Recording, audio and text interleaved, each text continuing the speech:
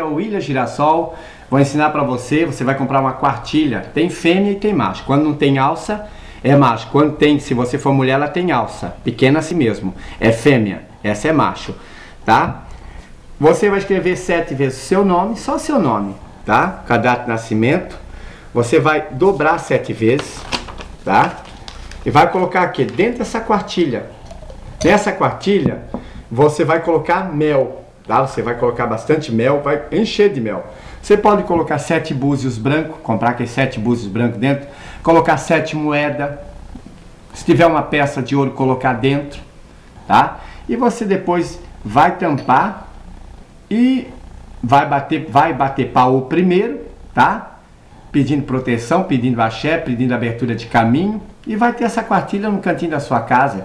De vez em quando, quando a coisa estiver ruim, você acende, coloca uma velinha aqui do jeito que está aqui, ó, e pede para Oxalá a proteção. Pede com fé, reza um Pai Nosso, reza para Oxalá, procura saber as rezas.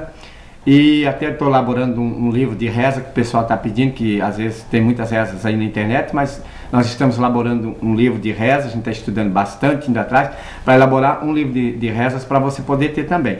E você vai rezar em cima disso aqui, pedindo a proteção e deixa no cantinho, no cantinho, de preferência mais alto que a sua cabeça, eu tenho certeza que vai dar um resultado muito grande.